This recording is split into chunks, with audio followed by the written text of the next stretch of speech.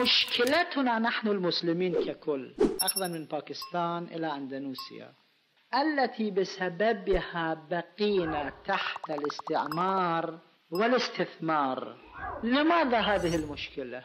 مشكلة المسلمين الوحيدة عدم الكفاءة إنسان لا يعرف البناء هل تسلم له بناء؟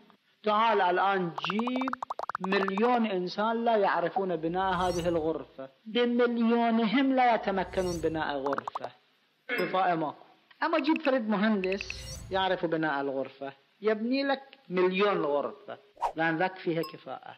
هذول المليون ما فيهم كفاءة. مو بس في رؤساء الحكومات كفاءات مو موجودة أبدا. في الشعوب ماكو كفاءات موجودة. كيفما تكونوا يولى عليكم.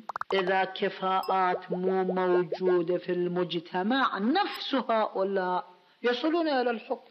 يصبحون وزيرا يصبحون رؤساء جمهوريات يصبحون سفراء يصبحون مدراء يصبحون شخصيات بارزة.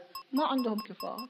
الإنسان الذي ليس عنده كفاءة هذا لا يتمكن من إدارة الأمور.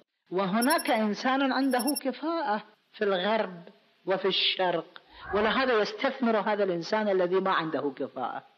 أحد الأصدقاء قال لي يروح إلى اليابان يقول ذهبت إلى اليابان أريد أشتري أحد أصدقاء التجار مواد البناء.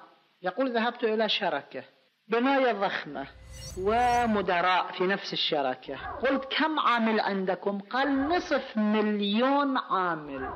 مو بالقوة بالاختيار هذول. لأن هذا الرجل الواحد عنده كفاءة.